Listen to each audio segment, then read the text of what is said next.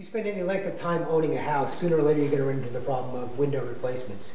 As they age, um, you know, the sun and the rain on the outside it uh, does its damage. You're opening and closing the windows, and they and they just get a little ratty looking, and the energy efficiency sometimes suffers. So the question arises: Do you spend the money for window replacements? Uh, some of the new windows are um, highly efficient, according to the industry, and um, they're also pretty expensive. Or do you take the other option and try to repair what you have? Well, the answer may not be as simple as the window industry would have you believe. What you need to remember about windows is that they're part of a whole system.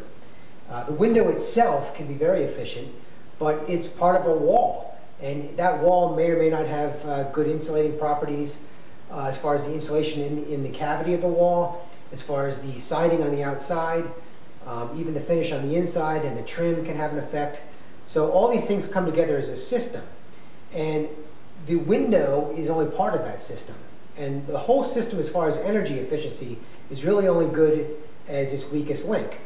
Now, the window may be the weakest link, in which case it may make sense to upgrade it, but it may not be. It may also be that in an older house you don't have enough insulation, and you could put the highest efficiency window you could find in, and it really wouldn't make any difference overall because you're losing um, heat or uh, in, the, in the summertime air conditioning through conduction or drafts in, um, in the wall. So you need to pay attention to the rest of, of the, uh, the house, the whole system, uh, before you make this decision. Uh, replacement windows, uh, the new ones usually have double pane glass. Often they have argon gas or some other form of gas in between for energy efficiency. And most of these windows are sold with a whole slew of technical jargon to explain just how energy efficient they are. Um, the expense can range from a few hundred dollars for a, typical double hung window uh, on up to a couple thousand dollars or even more. Um, and then installing the window, you have the exterior and interior trim that you have to deal with. Uh, you may have to do other insulation um, in the cavity on either side. So there's a lot more work involved than just buying the window, obviously, and popping it in. Um, so spending all that money on a whole house, especially, I mean, it gets it gets up there in price. You're talking tens of thousands of dollars. Um, that money might be better spent in other things.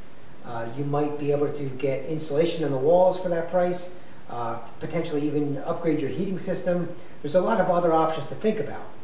Um, if you have a window that is older and maybe has some drafts, um, it may be just a simple matter of repairing it and you can get enough efficiency to make sense. Uh, you, if, if it's an older window and it's made of wood, you may have glazing on the outside that can be replaced.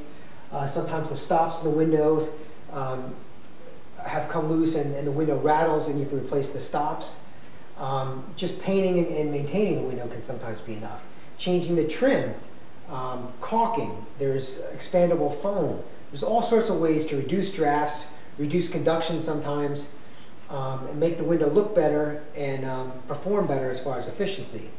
Also, in, in some cases where you have older windows, adding storm windows on the outside uh, in the form of triple tracks if you have to, but there's other more uh, elegant solutions too, um, can also add efficiency. In fact, sometimes the efficiency of a regular window and a storm window on the outside uh, rivals that of, of the newer windows that are available.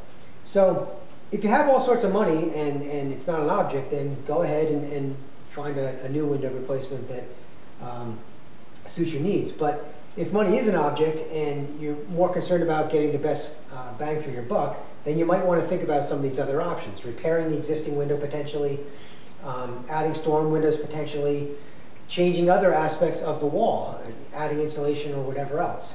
Um, it's not always a simple decision. So what I usually recommend is if your windows are getting old and ratty and you're thinking about replacing them, have an expert come in first and take a look at the rest of the system.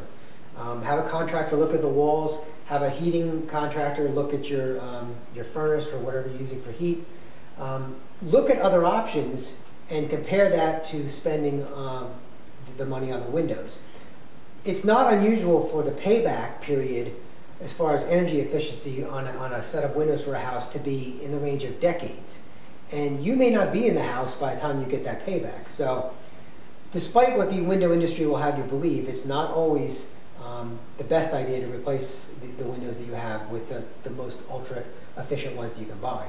Another little aspect of this is that sometimes I hear um, about inserts, which are basically keeping the window jambs in place, and just this part in the middle here basically gets replaced. So you, you take that, you take the stops out, you take the um, just all the parts of the center here out, get rid of it, and this insert fits in that place. I don't really care for that solution um, for a number of reasons.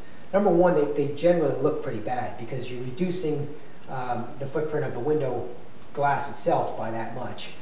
Um, the transition on the inside and also the outside between the old and the new is often awkward. Uh, a lot of times it's just a matter of caulk, and um, it, it, just generally doesn't work that well um, as far as the function and, and especially the look. Um, so I, I generally stay away from that. There are sometimes instances, like in older houses, where uh, the trim is almost structural in the sense that it's integrated into the plaster, and um, the exterior also would be difficult to replace the trim. And sometimes I'll get in a situation like that where an insert makes sense, uh, just because trying to change all the rest of it would be a huge, huge ordeal. In that case, go ahead and do it. But by and large, I try to stay away from that. So overall, I guess what I'm trying to explain is if you're looking at window replacements, you really need to look at the whole system and take a look at other options for gaining energy efficiency before you go spending the money. Um, because otherwise, uh, it may well be that replacing parts of the window that exist already, repairing parts of the window that exist already, or adding the storm windows, like I said, uh, can be a better bet for you.